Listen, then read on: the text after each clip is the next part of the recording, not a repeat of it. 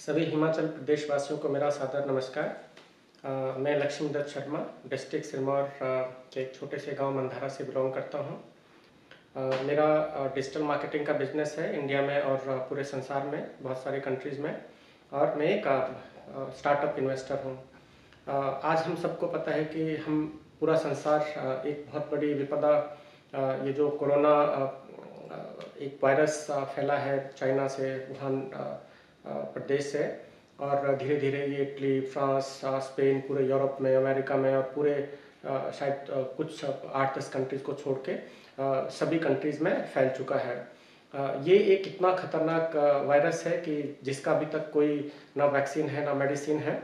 और ये हमारे पूरे जो लंग्स हैं, हमारा जो रेस्पिरेटरी सिस्टम है, उसको अटैक करता है। और निमोनिया की तरह से सिम्टम्स होते हैं, उसको खांसी या बुखार या गले में खराश टाइप होती है और फिर वो जब लंग्स में जाता है तो उसके बाद में बहुत ब्रीदिंग की प्रॉब्लम होती है और अगर किसी भी पेशेंट को आसानी से आईसीयू या वेंटिलेटर ना मिले और तब तक अगर वो हमारा इम्यून सिस्टम काम ना करता है तो ये अल्टीमेटली आदमी की डेथ हो जाती है जो कि 50 इयर्स प्लस 60 इयर्स प्लस लोगों में ज़्यादा प्रॉब्लम है।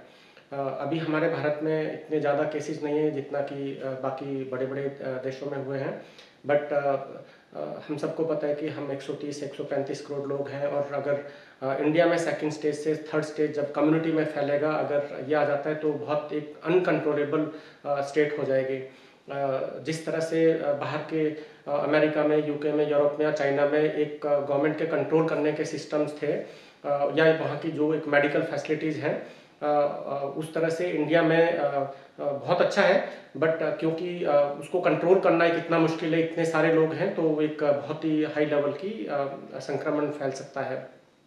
जैसा कि हम सब को पता है, अब हिमाचल में भी हमारे कुछ केसेस आ गए हैं और अगर ये गाँव गाँव में चला जाता है, जहाँ पर हम, हमारे पास में मेडिकल की फैसिलिटीज़ बहुत दूर दूर है अगर मैं डिस्ट्रिक्ट सिरमौर की बात करता हूँ तो हमारे को जो नियरेस्ट चंडीगढ़ या देहरादून में जो उतनी एडवांस फैसिलिटीज़ मिलती हैं और या फिर शिमला में होता है तो बहुत लोगों को प्रॉब्लम हो जाएगी।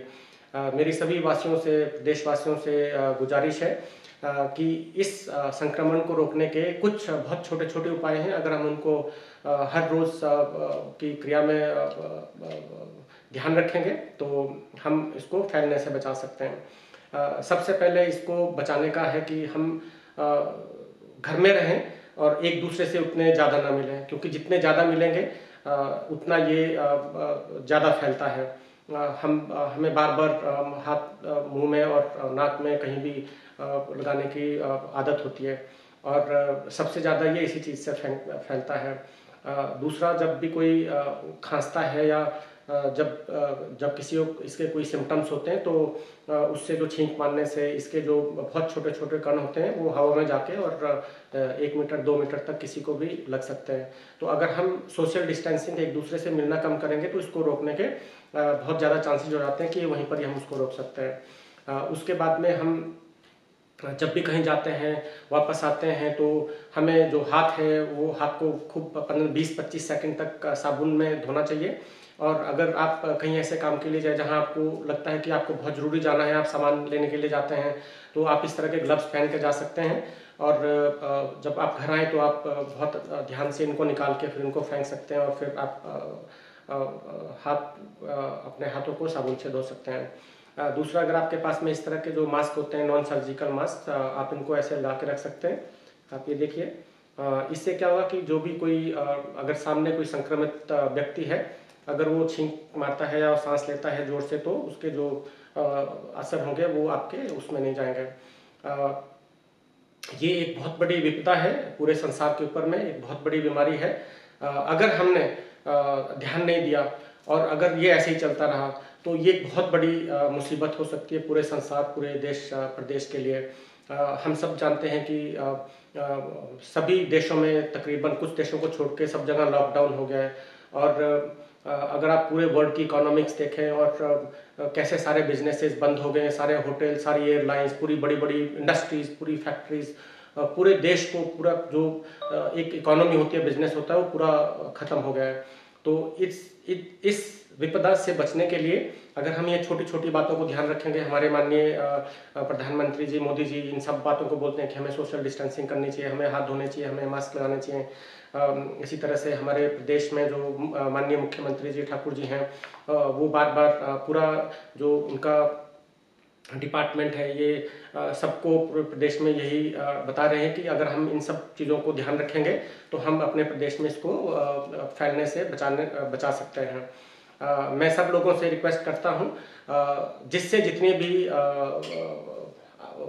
जितना हो सकता है वो जो हिमाचल प्रदेश का H P COVID nineteen solidarity response fund है उसके लिए खूब दिल खोलकर दान दें जिससे कि हमारे जितने भी गरीब भाई बंधु हैं हमारे प्रदेश में या जिनको ज़रूरत है जिनको उतनी मेडिकल फैसिलिटीज़ नहीं मिल सकती या जो जिनको भी इस चीज़ की ज़रूरत है तो हम उनको हेल्प कर सकते हैं।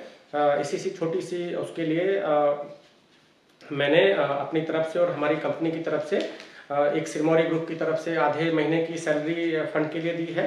और एक मैंने और मेरे बच्चों ने रुशील शर्मा और अनन्या शर्मा ने एक एक लाख रुपए और मैंने अपनी आधा महीने की सैलरी छः लाख रुपए रिस्पांस फंड के लिए दान दिए हैं। मैं माननीय ठाकुर जी हमारे जो चीफ मिनिस्टर साहब जी हैं उनसे रिक्वेस्ट करूँगा कि हमारे से जो भी होगा हम हेल्प करेंगे पूरे प्रदेश की। और मैं सभी से गुजारिश करता हूँ कि मेरे जैसे और भी कितने सारे जो कॉरपोरेट वर्ल्ड में पूरे बाहर हैं किसी और दूसरे देश में हैं, पूरे देश में अलग अलग हैं, वो सब मिल मिलकर एकजुट हों और हमारे हिमाचल प्रदेश के फंड में सॉलिडरिटी रिस्पांस फंड में दान करें ताकि हम इस बीमारी को फैलने से बचाएँ और हम सबका भला करें। धन्यवाद।